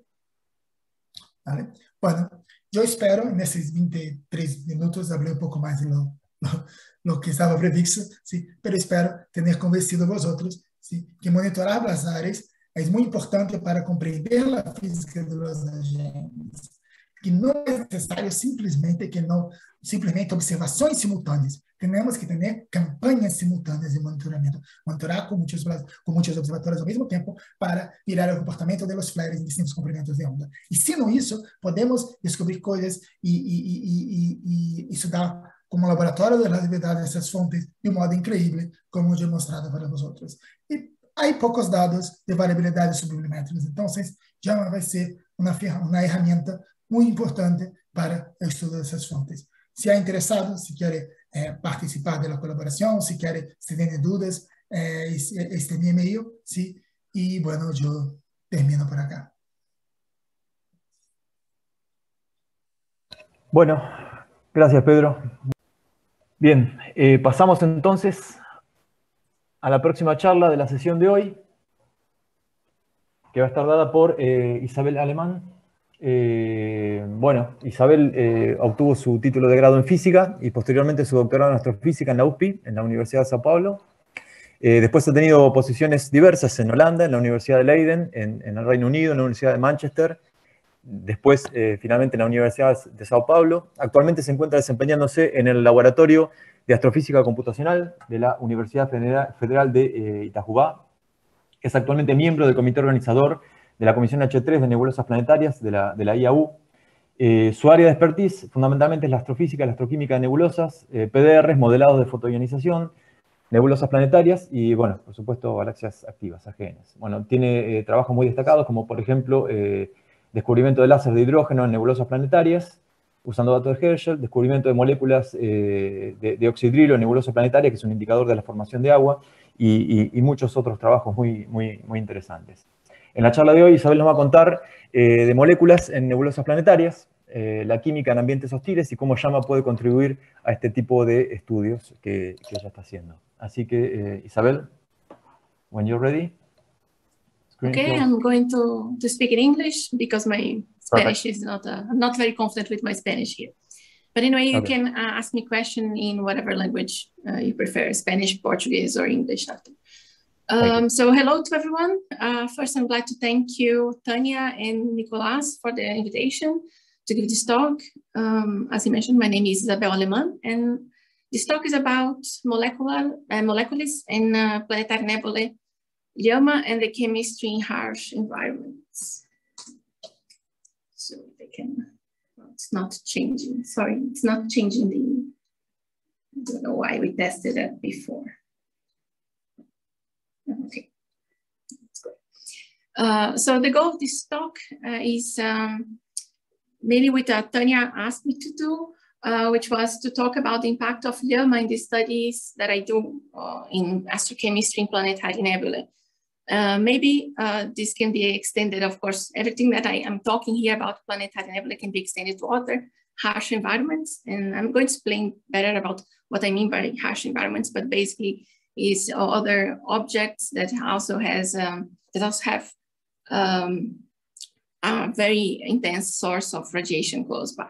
And I have to do this in 20 minutes. And I know that everybody here is already uh, a bit tired. So I'm going to give a very, a very general and very light talk, not many, no, not, not with plots and complicated stuff, but just a general talk uh, for you to understand uh, the, the kind of um, need we have uh, in terms of data, uh, in terms of science in this field, and especially what LLAMA can do. Okay. I don't know if you can see me. Are, are you seeing me as well, or oh, you hear me fine? Okay. Yes, yes. Okay. Thank you. So next one. So the content briefly is, uh, uh, I'm just uh, giving a brief introduction uh, for context. Probably you already know most of the things, but it's just to, to give a little bit of a, um, a scenery of all these things. I'm going to talk about open questions, uh, what has been done, just a summary of the things. And I'm going to talk a little bit more of a few examples uh, and also um, my conclusions of what we still need and how LLAMA can help with that. So basically, uh, yeah, these have been mentioned before, but molecules are very important, of course. They are seen everywhere, and they are important, of course, for many fields in terms of chemistry, astrobiology, physical conditions of many objects, uh, elemental abundances when you, uh, you are talking about more dense and molecular environments. Um, of course, about evolution of the objects, morphology, and other uh, physics, and anything that you can think about it. So you, you, um, you have a, a, big impact in many fields. Uh, more than two, 200 molecules have been detected in space already, including planetary nebulae. Uh, this is a very simple, a, a, table with the molecules detected in the ISM.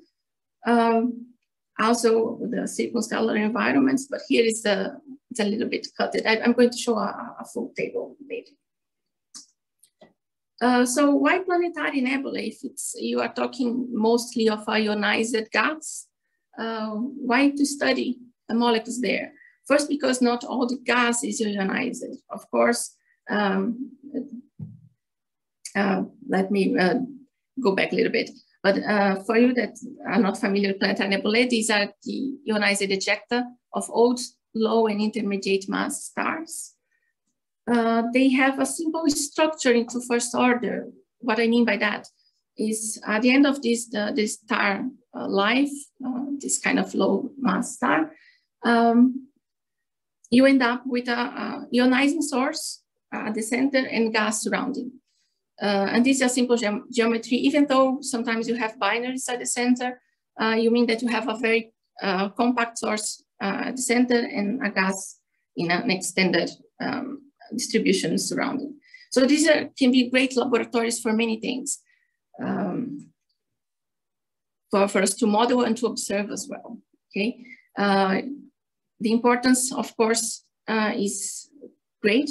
Uh, you can study star evolution, you can study uh, ISM enrichment, astrochemistry, many things, and you also can have impact in several fields. Uh, I was talking about uh, what I can say uh, in ex extending this kind of study of planetary nebulae. you can also obtain information, important information from for what we can do Uh, in terms of activity, uh, the same similar studies in active uh, galactic nuclei, H2 regions, supernova, all these objects, they have very powerful sources at the center. And although, for example, H2 regions are, can be much more complicated with stars distributed all around, and the stellar field is not very easily um, modeled, for example.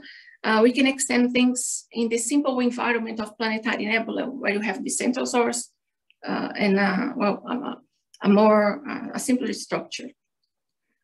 Uh, and of course, this uh, is going to, to, to, be very important in all these, for all these objects, the studies of all these objects. Uh, another things that make planetary nebula important is that you know quite, we know quite well uh, how is ionizing spectrum. Uh, this is just a, a, small example. We know um, we have very good studies of how these kind of stars evolve during the PNA, the PNA phase.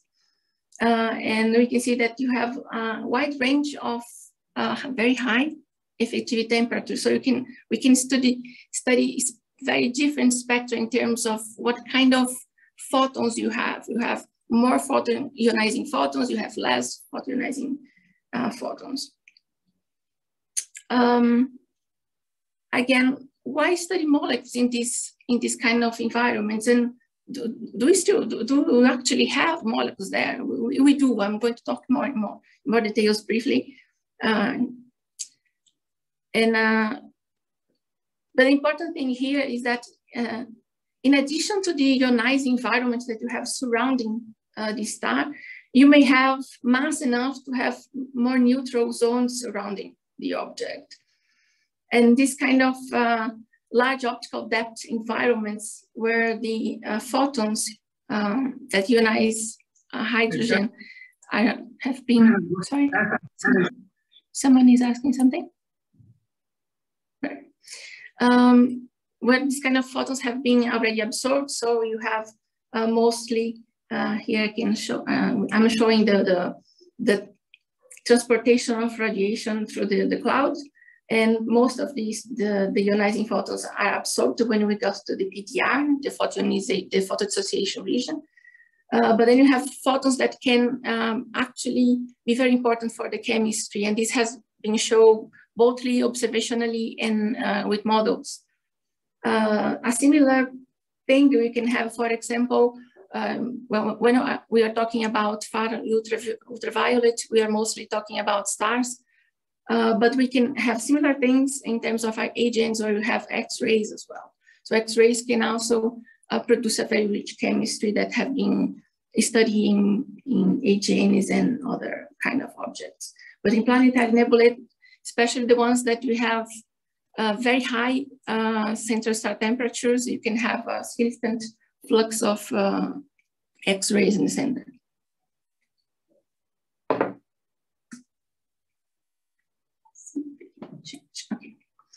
Uh, i thought about um, I talk about this uh, surrounding environment, but this surrounding environment is not uh, uniform. So um, usually you have dense clumps where these uh, molecules can be formed or can survive. This is still in discussion uh, up to today. Uh, but basically, for example, in this helix nebula, you have these what we call cometary knots, which are dense clumps basically, and you can see molecules that are concentrated. Uh, here I show CO. This is molecular hydrogen, and this is H alpha, for example, for you to compare how is the emission uh, in this kind of clump. So most of the emission in the helix, for example, the molecular hydrogen emission in the helix is coming from this kind of uh, substructure. So what are the open questions in the field? What we, we, we still don't understand completely. Um, first, in terms of observations, in fact, um, few objects have been actually searched. I mean, most of the observations are done um, from specific objects that are very bright and you can observe very well. And they have been observed very well in other uh, wavelengths, so you can have other kind of information. Uh, this is a pity that, uh, that there are not that many observations.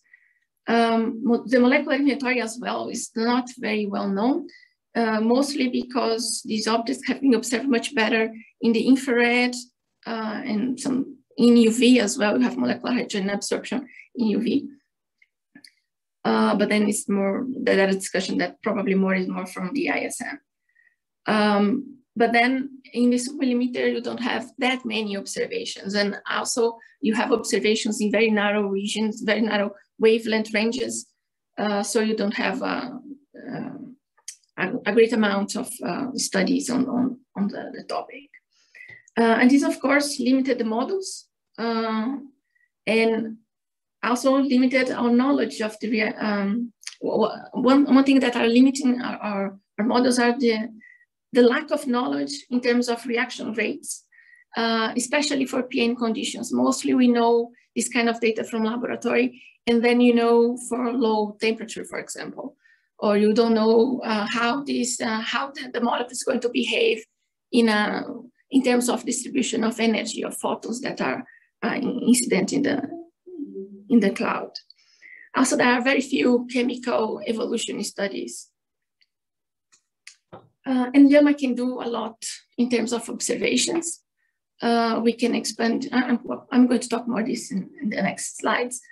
Uh, but then you can do a lot for in terms of observations, and then you can improve theory as well, and basing uh, based on on this kind of observations. Um, the, now I'm going to talk a little bit uh, more about some of these studies that have been done uh, but I'm, I'm not talking about specific studies. I'm going to talk more generally.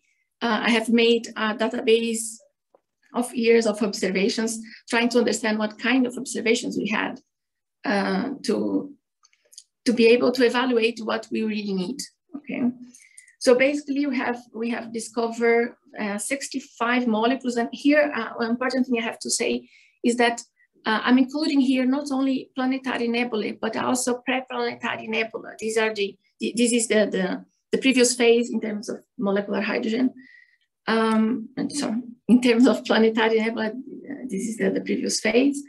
Uh, because uh, more, uh, some of um, the studies that I want to do is, uh, in fact, to, to study the evolution from the HB phase up to the molecular um, up to the, the molecular uh, cloud that can form uh, also uh, surrounding planetary nebula. Uh, sorry, come back. Um, one thing uh, we have uh, in all my searches in the, in the literature, I found 192 planetary nebulae that have been observed and molecules have been detected, in fact. and only 85 preplanetary nebulae. I mean, it seems like a, a, a big number uh, of objects. And why, why I, I'd say the opposite before is because most of these objects have been only searched in molecular hydrogen and CO. Um, very few, um, probably around 20 or some, something like it, have been observed, um, have been searched for other molecules. Uh, we have lots of papers published, but usually it's from the same objects over and over. Uh, I'm going to show four objects here in this next slide. And these four objects have been observed many, many times. Every time that a, a person has wants to observe something new, they go and look for these objects because they are bright and easy to observe, of course. Uh, and we know uh, them very well from other studies. But then these have been limiting our knowledge because we don't uh, have uh, information from other objects. And these objects are very weird ones. For example, NGC 7027 is an unusual planetary nebula. It, it shows it's more like, like a PDR, um, a cloud that's surrounding uh, hydro, um, H2 regions, than exactly a planetary nebula, although we know for a fact that it's a planetary nebula. The other three objects in this, uh, in this page here are preplanetary nebula. So most of the time, if a person wants to, to search for molecules, they go for this protoplanetary nebula or preplanetary nebula. Um, well, these objects are great, but let's try another objects for a change. Uh, for example, recently, people have tried to change these objects and try to search in other objects, and they were very success successfully, um, sorry. Uh, these objects, for example, have been observed by the groups of by the group of Ziurys um, that uh, have published a series of papers in the last years uh, about observation with uh, antenna sorry, two antennas that are similar to, one of them is an ALMA kind of ALMA antenna, and the other one is a 10, uh, 10 meters diameter dish. And they have been uh, done a very, a very, an excellent job searching for new molecules and get some physics from, from these and chemistry as well. So for this particular object, uh, you, you can see that you have lots of different molecules and they observe just in two bands if I'm not mistaken here, but I think it's just two bands. Uh, they have they, they, they got lots of information and they could compare to these other traditionally uh, observed um, planetary nebulae.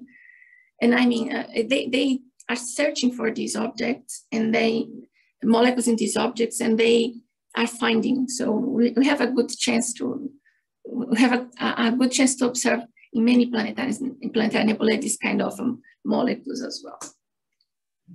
Um, the molecular inventory of planetary nebulae is uh, not very uh, well known, as I mentioned before.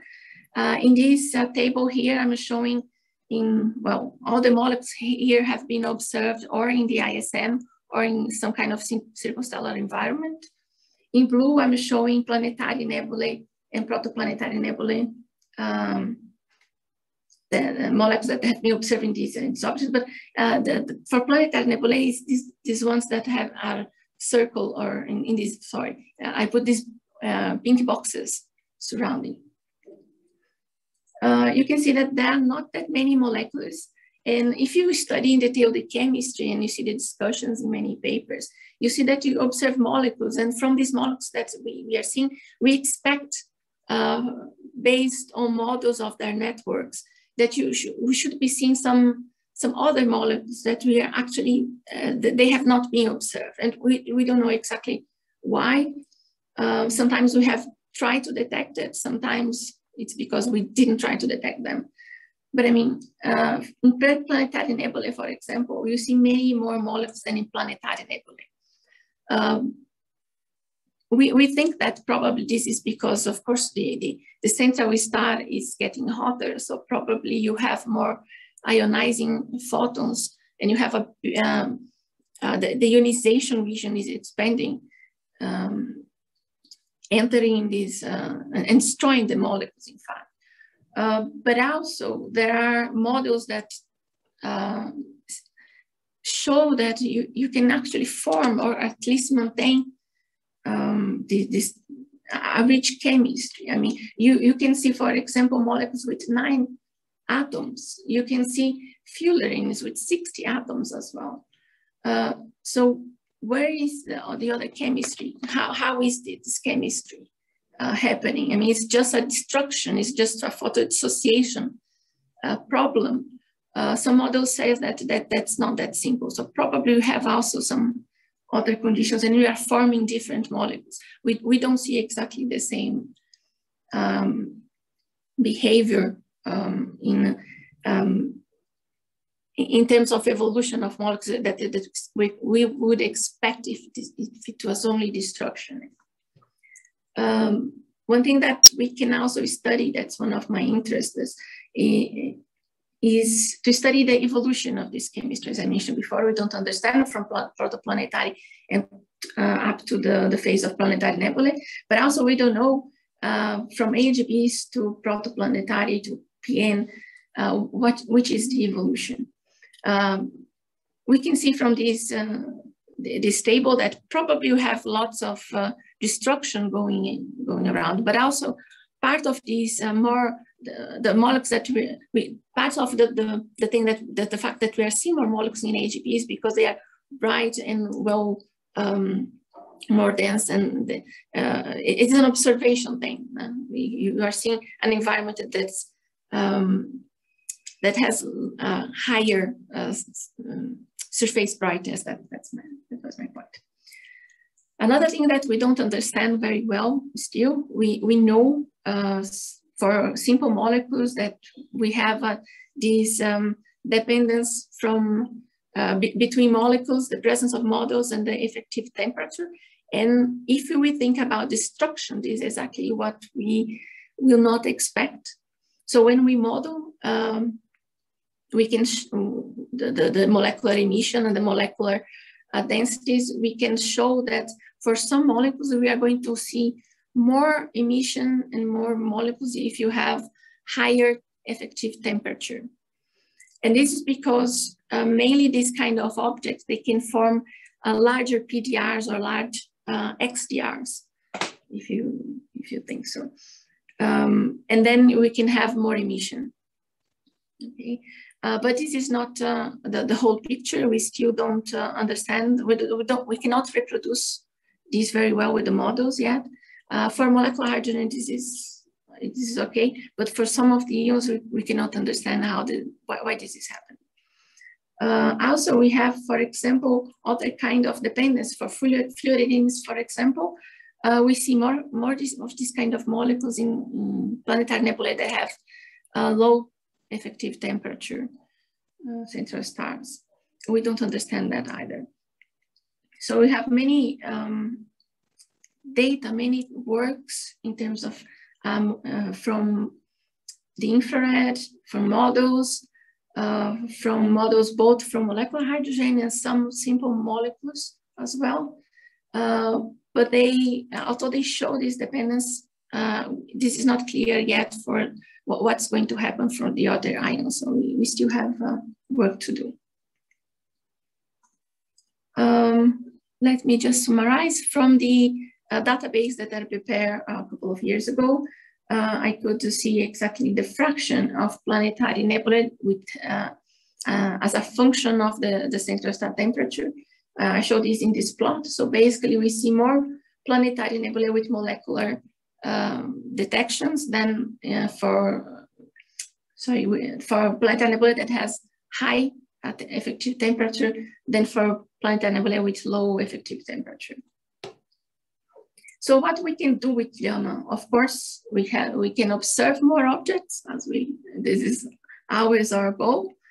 Uh, but this is particularly important because in planetary nebula, in this problem in particular, because few objects have been actually searched and increasing the, the number of objects observation, observe, sorry, observed uh, also means that we have a larger pool of characteristics and we can better understand um, how uh, the chemistry is, is happening and how the physics is affecting the molecules.